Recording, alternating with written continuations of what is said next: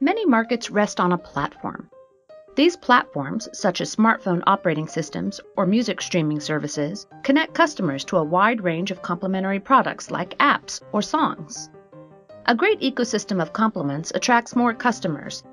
So even though some complements in the ecosystem are competing against each other, they also need each other. Traditionally, production is organized through hierarchies or markets. A platform ecosystem is a hybrid organizational form that is neither market nor hierarchy. Platforms and complements agree to co specialization or exclusivity contracts. These agreements bind the parties into stickier, longer term relationships than regular market contracts, and the platform coordinates and governs the overall ecosystem. But how do we know when and where a platform ecosystem makes more sense compared to market contracts or a hierarchical organization? The answer lies in the trade offs of modularity, the degree to which a system's components may be separated and recombined. For example, a smartphone manufacturer might start out by only offering proprietary phones where the hardware and software are tightly integrated. However, as different customers prefer different features, the manufacturer may offer different product configurations.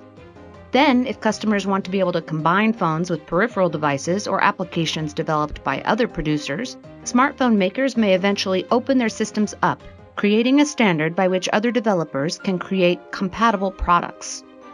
Smartphone makers may even decide to uncouple their operating systems from their hardware so that consumers can use the operating system on devices made by other manufacturers. In each of these stages, the product becomes increasingly modular.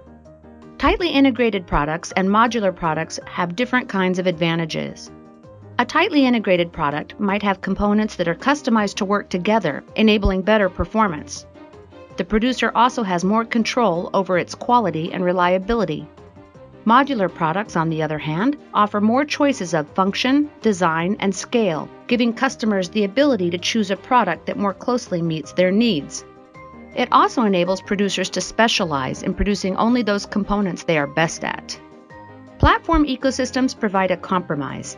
They give customers more choices and flexibility, they enable some shepherding and quality control by the platform, and they foster innovation through co specialization between the platform and its complements. For more information, check out Strategic Management of Technological Innovation.